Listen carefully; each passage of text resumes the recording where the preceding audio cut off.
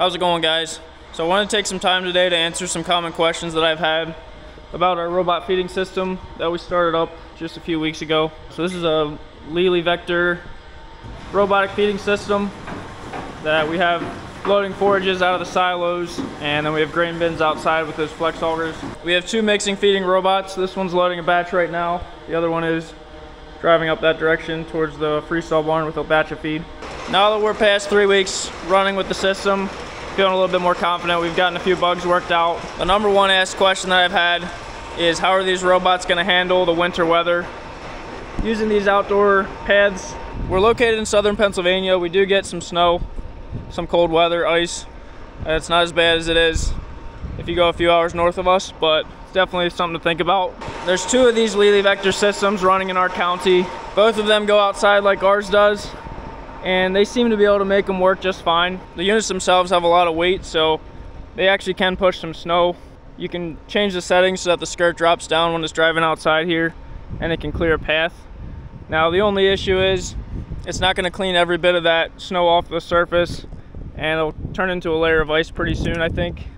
So we're gonna have to spread some calcium chloride or some sort of de-icer on the paths just to keep the ice from building up. If we know we have a real heavy snowstorm coming, we're gonna probably let them feed ahead, get plenty of feed in the troughs, and then shut them off until after the storm's over. That way we're not having to keep the paths cleaned off constantly. It's gonna be a learning process. If we get some big snowstorms this winter, it might be a pain, but I think we'll learn how to manage it after a, a couple storms. Most winters we will get a snowstorm. Uh, it's not always too much snow. Last winter we had one that was maybe six inches. There was a lot of drifting with that storm, so that would probably be sort of a pain you got a lot of snow blowing across and recovering the path. We had considered running water tubes through the concrete just right at the uh, wheel tracks. Thought we could maybe melt that ice, but it would have added a good amount of cost and we just weren't sure if it was gonna actually be worth it. We think we'll be able to make it work. I know when we have some snow, we're gonna have to spend some time out here making sure they can run, but we're not gonna have to worry about feeding the cows that day, so we should have time to clear paths. It won't be that big a deal.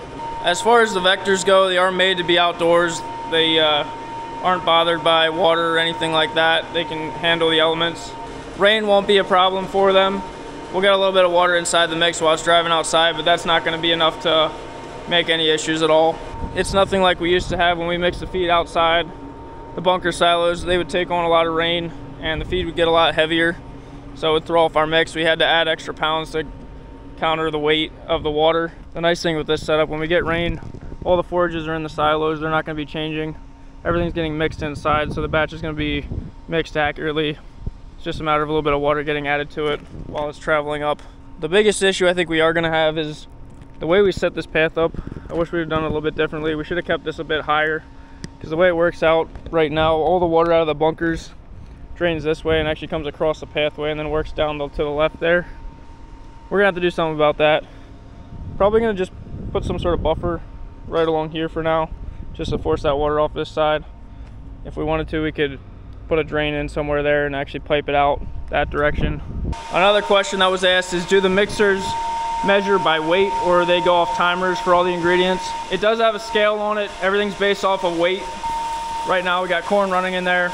It'll actually learn how much of an ingredient will come after it sends the signal to stop it the main thing that's nice for is out of the silos. When it tells one of the silo unloaders to turn off, it takes about 10 seconds for the feed to actually stop coming out of the unloader, stop falling down the silo. So the conveyor has to run 10 extra seconds.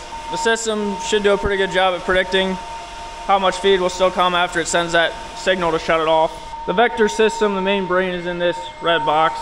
All of this equipment right here is built by a local company and this controls all the silo unloaders and the conveyors. This will get a signal from the main Lely box. So this main box will tell these silo unloader boxes to start their shutdown process, which there's a couple steps to that. And then eventually they'll turn the conveyor off. We will be able to get mixed accuracy data. That's not coming through on the computer yet. I guess it takes a little bit of time for that to start working. It's gonna be really interesting to see what the percent accuracy is on some of these ingredients. And we're hoping to be well above 90% accuracy on the forages. The grain ingredients should be even better. Another question that kind of goes along with that is why did we run three separate conveyors from each silo instead of just having one long one outside. It's kind of a complicated setup up there, a lot going on above the mixer. In some ways it would have been simpler if we had all these silo chutes directly towards the building. We could have ran one long conveyor that would go under all three silos and then just have one single conveyor going up through into the mixer. It would have been simpler as far as putting less holes in the wall of the building, but there's a couple advantages with this setup. So for one thing, we don't have to get these conveyors empty between ingredients. So right now those conveyors have some forage still sitting in them. And that just helps increase the accuracy of the system because it's decreasing that amount of time that the ingredient has to run after the robot sends a signal to turn an ingredient off. So it's about 10 seconds the way we're set up now. Now if we had one long conveyor that all the silos fed into, it might be 30 seconds of feed that would have to fall after it tells it to turn an unloader off because you have to get that conveyor completely cleared out. The other downside with that is we'd have two conveyors running at all times. So it would actually be more wear and tear on conveyors. This setup, it's really the simplest possible setup. You have one straight conveyor from each silo. It's pretty straightforward as far as that goes. It looks not straight because everything comes in at an angle. So right now we're running corn silage out of one of the silos really close outside. All we have is this 18 foot conveyor running right now. Uh, rather than having a real big long conveyor outside and then another conveyor running, it was really a priority for us to have a separate conveyor for each ingredient. We thought it's gonna give us the best chance of being accurate. As long as you have good chains on them, they should be very reliable, which we learned pretty quickly with that one last week, but we got that replaced. All of the ingredients are loaded based on weight except for two of them, and that's these two small mineral bins that we have in here. So these actually are measured based on a pulse.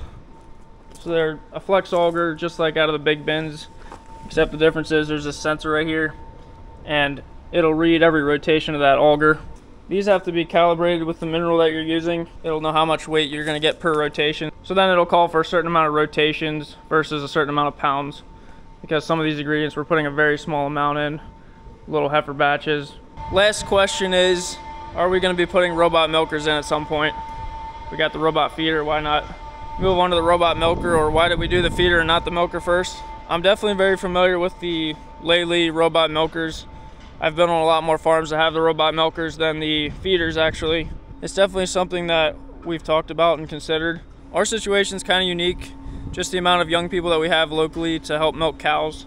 We do milk three times a day, it takes about three hours per shift. And we need two people per shift, so that's quite a few shifts in a week. I'm only milking about four or five times myself. And then we have a full-time employee, Megan, that you see in a lot of the videos. She kind of manages different things with the parlor and young calves and cleans, does a lot of cleaning. And then we also hire a lot of young people that are high school age and a few adults part-time. We're definitely a lot more comfortable hiring young people to milk cows versus feeding. Just because with feeding, they have to be experienced with a skid loader and a tractor and loading all those ingredients you can make very expensive mistakes pretty quickly it's just a job where you need to have an adult that's mature and, and really trustworthy to be actually be feeding cows we did have some people that would help fill in with feeding sometimes but it was mainly just me and my dad that would do the feeding milking obviously is very important too but it is a job that's a little bit more doable for a young person that you're training uh, we have the Future Cow prep brushes in the parlor. That really helps make the cleaning consistent now too. Basically our situation with feeding was we kind of need to hire a full-time adult if we want to give my dad a break and have him do less feeding. We didn't really have the work to hire a full-time person. It's pretty hard to find somebody that's going to show up for two hours every morning to mix feed. You know, the other option would have been I could start feeding a lot more and stop milking. I didn't really want to do that. I like milking. I like being able to see the cows every day or most days. Kind of do other jobs while you're milking. You know, we're bedding stalls, watching cows for sore feet or any other type of issue, checking the water troughs. That's the one thing with milking is you're actually with the cows, you're spending time with the cows, whereas feeding, it's really just a job where you're trying to do everything the same every time and be consistent. It really doesn't have anything to do with the cows other than the final product being run out into the troughs. Robot milkers would save a lot of man hours, but the thing is, the majority of those hours would just be part-time help and young people that we're hiring. I really wouldn't want to let go of our full-time employee Megan just because we had robot milkers. I think that would be a mistake. I don't know that would make my personal job a whole lot easier. I wouldn't have to worry about scheduling milkers every month and things like that, but I would have to worry about robot issues, so it would probably be an even trade-off there.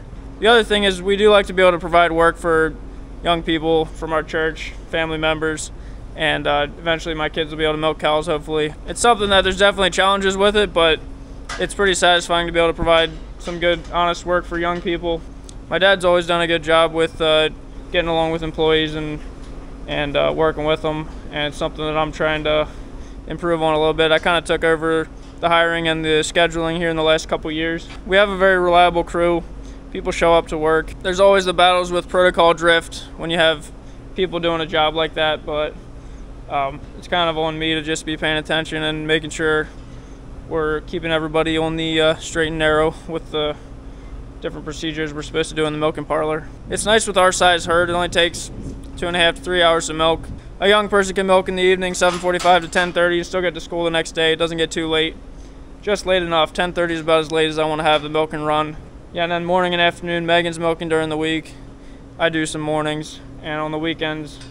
Now with the feeding system, I'm milking one morning, Megan does the other morning, so it's either me or her here every morning. It's kind of nice. You know, and then as the milking's ending, we're always doing herd work, tying in cows in the headlocks. If we need to give shots or pills to any cows or anything, kind of all attaches to the milking. So even if I wasn't milking, I would still need to be out here. Still need to be taking care of the cows either way. So labor savings is a big part of both systems. We kind of felt like the feeding system gives you more other advantages besides the labor. Just the efficiency of them. We're going to be saving a lot of energy costs. Um, feed shrink savings, potential increase in milk production, feed efficiency from the cows with the consistent feeding. I think it would be different if I was milking twice a day myself, spending six hours in the parlor.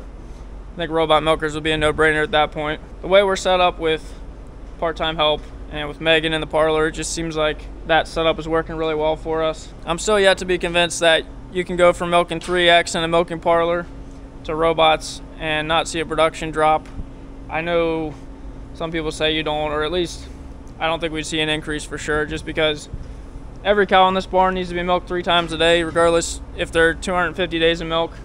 They're still coming into the parlor, still making 60, 70, 80 pounds with decent components. Whereas I think a robot milker, those tail end cows, that's kind of where you get hurt a little bit because they stop going to the milker enough and then they're only making 40 pounds a day. I don't know. I will say we someday do want to do something with our milking parlor. The cow flow is not as good as it should be. It'd be really nice if cows could easily move in and out of the parlor. Uh, we kind of have to fight them a little bit just because of uh, the design of some things in there, which we can go over that in the future sometime. It's still been working pretty well for us. I definitely understand why there's more milking robots out there than feeding, just because there's more man hours going into milking every day than feeding. But yeah, depending on your situation, one like ours, I think the feeding system makes more sense. And I think the payback's gonna be quicker than a robot milker would be. Don't get me wrong, there's definitely some nice features with those robot milkers that that's definitely interested me before, but Part of the problem too is I just actually enjoy milking cows. Just do a steady job like that. I actually enjoy it more than I did feeding. So yeah, it's gonna be a little harder to sell me on the robot milkers personally. Definitely let me know in the comments if you have more questions. I'm gonna try to get to a lot more details with this system as we're moving along and learning things. So I guess the last question I see a lot is how could we afford this as a small dairy farm?